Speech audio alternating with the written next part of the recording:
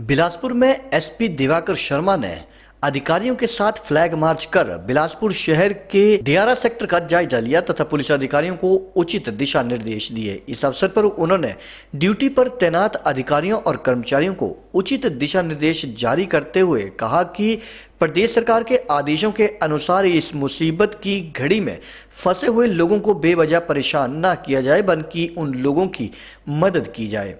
उन्होंने कहा कि शरारती तत्वों व असामाजिक तत्वों को पुलिस बख्शेगी नहीं। उन्होंने बताया कि जिला प्रशासन की मदद से इस मुसीबत की घड़ी में फंसे लोगों के लिए खाने पीने का प्रबंध किया जा रहा है। उन्होंने पुलिस अधिकारियों को मौके पर निर्देश देते हुए कहा कि वे मुसीबत में फंसे लोगों की मदद करें और उन्हें सही मार्गदर्शन दें।